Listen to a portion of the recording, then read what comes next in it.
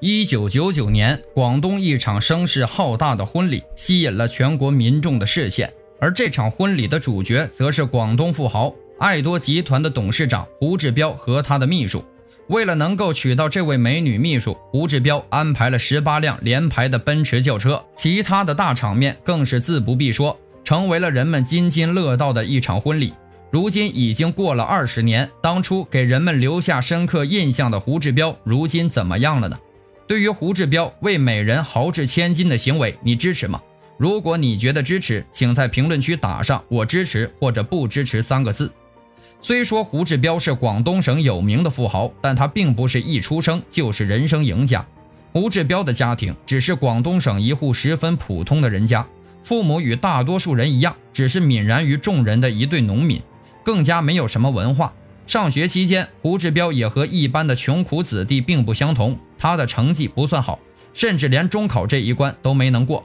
深知自己在学习这一方面没有天赋，胡志标在初中毕业之后就放弃了继续读书的念头，开始远走他乡，在外打拼。没有什么文凭的胡志标，只能跟着家电维修师傅学习维修手艺。好在虽然胡志标成绩不理想，但是他的脑子还是很灵活的。这一点在他学手艺上表现得淋漓尽致。不管师傅教什么，胡志标总是一点就透，表现出了惊人的天赋。从师傅那学成之后，胡志标就一直以维修家电糊口。但当时家电的普及率还不是很高，再加上质量普遍都比较好，胡志标很少有生意可做。这使得他平时都很清闲，也就有时间去看最喜欢的松下新之助的自传。看着书中松下的传奇经历，胡志标心中充满了向往。他无数次在睡梦中梦到自己成为了中国版的松下，没想到这种遥不可及的梦想竟然会在未来成了真。有一次，胡志标在一个大排档吃饭，他偶然听到隔壁桌的客人在讨论 VCD。这个话题一下子就吸引了胡志标的全部注意力。要知道，当时中国很多家庭使用的还是 LD 播放器，VCD 与之相比，不仅价格要便宜很多，而且体型也更小。更为重要的是，VCD 在当时的中国还没有发展开来，是一个入手的好时机。头脑灵活的胡志标意识到，这是一个难能可贵的机会。回到家以后，他花了整整一个晚上的时间，仔细研究了一下 VCD 行业。最后的结果让他惊喜不已。于是，胡志标当即就赶往了香港进行实地考察，准备开始他的创业之旅。对于一个没有学历也没有资金的年轻人来说，创业是何其的艰难。好在父亲是全力支持胡志标这一想法的。为了能够帮助儿子，父亲甚至卖掉了家里的房子，把所有的钱全部都给了胡志标。作为他的第一笔启动资金，虽然父亲已经拿出了家里所有的钱，但这还是不够。于是胡志标便找到了自己的发小陈天南，在与陈天南达成合作关系之后，两个人一起建造了厂房，终于迈出了携手创业的第一步。一九九五年七月份，由胡志标和陈天南共同打造的公司在广东成立了。从张学友的歌曲中得到灵感，胡志标把公司的名字定为了爱多。不得不说，胡志标确实很有商业头脑。当时数字媒体在中国才刚刚发展起来，VCD 这一行业也才处于发展初期。正确的创业选择注定了他日后的成功。在那个年代，VCD 的利润是很高的，一个 VCD 的利润就能够高达七八百元，这相当于当时普通员工一个月的工资了。因此，很多经销商都很乐意推销这款产品。当时经销商们拿货基本上都是货到付款，但胡志标却要求先付款再给货。为了让经销商们放心，胡志标直接把大头利润都给了经销商，自己只拿小部分利润。虽然胡志标提出的要求在当时是史无前例的，但考虑到丰厚的利润，还是有不少经销商在胡志标那里拿货。通过这种方式，胡志标在一件货都没有发出的情况下，就已经拿到了两千多万元的款项。胡志标深知，为了提高产品的知名度，就一定要打广告。他把款项中的一部分钱专门拿出来砸给了《羊城晚报》，让爱多这个公司名在报纸的头版头条上待了整整三天。在吊足了人们的胃口之后，胡志标才正式推出了爱多 VCD 的详细介绍。经过这番成功的营销手段，爱多 VCD 横空出世，瞬间就成为了家喻户晓的一个品牌。如今的很多悬念广告几乎都是由此而来的。在胡志标的一番操作之下，爱多 VCD 在全国爆卖，经销商和胡志标两方都赚得盆满钵满。经过几年的发展，胡志标于1996年开始进军上海。然而，随着 VCD 在中国的普及，很多生产 VCD 的厂家也纷纷冒了出来。对胡志标来说，与这些厂家拉开距离是他不得不面对的问题。就在胡志标焦头烂额的时候，电视广告却给了他又一个灵感。胡志标先是花费四百五十多万找到成龙，希望他能够代言爱多 VCD。之后更是斥了上百万的资金，将广告投放到央视，让全国上下的百姓都能够看到爱多 VCD 的广告。就这样，爱多 VCD 的知名度迅速上升，全国范围内的经销商都跑过来跟胡志标谈合作。尽管胡志标要求每一个经销商都必须缴纳三百万元以上的保证金，还是有大批的经销商主动想与爱多合作。胡志标在短时间之内就收到了高达两亿多元的集资。此时的爱多可谓是如日中天，在 VCD 领域无人能出其右。在爱多和胡志标风光无限的同时，同时在广东东莞的段永平也对这个行业虎视眈眈，并且向市面上推出了步步高 VCD。与爱多相似的是，段永平也请了一位功夫明星做代言人，就是我们熟知的李连杰。从这儿我们不难看出，段永平一直将胡志标作为自己的竞争对手，也一直在努力超越胡志标。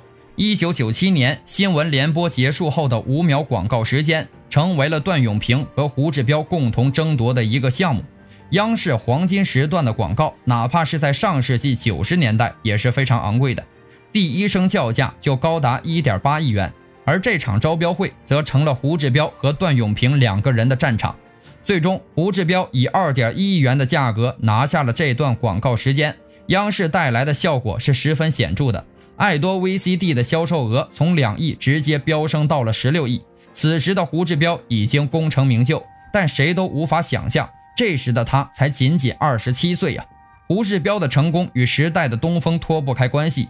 但他之所以能够在短短几年之内就将公司经营到如此庞大的地步，与胡志标本身的商业头脑也息息相关。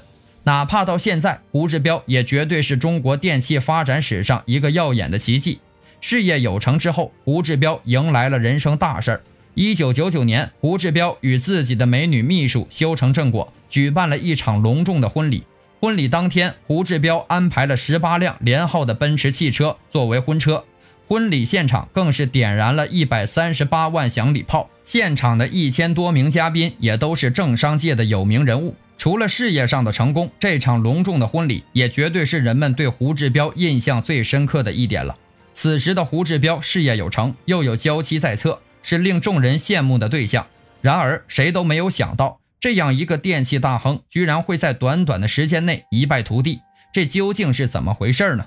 随着 VCD 的普及，越来越多的企业在这块市场上争夺，就连国企也涉足了这一领域。为了能抢夺更多的市场份额，胡志标与国企新科打起了价格战。这种为了争夺市场而打的价格战，在商场上是屡见不鲜的。为了打压国企新科，胡志标直接将爱多 VCD 的价格降到了一千元一台。除此以外，还附赠加电扇、剃须刀等物品，光是赠品的价格就已经高达七百元。很明显，胡志标是铁了心，就算赔本也要压过国企新科。虽然爱多的销量因此疯涨，但由于是亏本买卖，对公司反而造成了很大的伤害。这场价格战打完之后，爱多直接损失了一点五亿元。屋漏偏逢连夜雨，在公司遭受巨大损失的同时，资金流也随之出现了问题。为了解决公司不断出现的状况，胡志标只能拆东墙补西墙。结婚之前，公司的资金归胡志标和创业伙伴陈天南共同管理，但在结婚之后，财政大权就交给了妻子。在旗下一些子公司的股权上，也完全没有陈天南的份儿。不仅如此，胡志标竟然还背着陈天南偷偷的转移公司的资产。意识到自己遭遇了发小的背叛，陈天南十分的气愤。当即就在《羊城晚报》发表了一则公司的股东声明，胡志标私下做的一些见不得光的事情也都被摆到了台面之上。之前各大经销商因为信任胡志标，才会缴纳高额的保证金，现如今看到了这一消息，也都纷纷上门去讨要保证金。但胡志彪根本就拿不出这么多钱，那些保证金早已经被他挪用。爱多一夜之间崩溃，珠海法院也查封了办公大楼。在后续的财产清查中，人们才知道，原来爱多所有的资产加起来都已经不足三亿了，负债却高达了四亿多元。很快，爱多就正式宣布破产。胡志彪也因为自己的犯罪行为沦为了阶下囚，被法院判处了二十年有期徒刑，之后又将其改判为八年有期徒刑。自此，曾经一个商业传奇锒铛入狱，告别了他的传奇人生。这件事情在当时也令全国上下的人们唏嘘不已。出狱之后，胡志彪仍想东山再起，奈何连续两次创业却都以失败告终。如今的胡志彪正在经营一家管理咨询机构。为那些梦想创业的人提供咨询服务。其实，胡志彪之所以会那么快失败，也是有迹可循的。在公司财务这一方面，他完全不关心，也并不清楚。这对任何一个企业来说都是大忌呀。不管怎样，胡志彪能够从一个一穷二白的农家穷小子成为电器大亨，对许多人来说也有足够的借鉴意义。只希望他能够充分意识到自己从前的错误，过好以后的生活。好了，今天的内容就到这里。你觉得胡志彪失败的主要原因是什么呢？欢迎在评论区发表你的看法。关注我，下期更精彩。